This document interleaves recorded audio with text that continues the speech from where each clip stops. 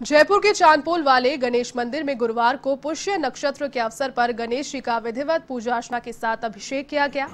इस अवसर पर प्राचीन गणेश महाराज का वैदिक मंत्रोच्चार के साथ में विधिवत अभिष अभिषेक कर पूजा का आयोजन भी किया गया। गणेश जी को दूध, दही, घी और अन्य द्रव्यों से महास्नान कराया गया। इसके बाद गणपति को नवीन पोशाक धारण कराई गई।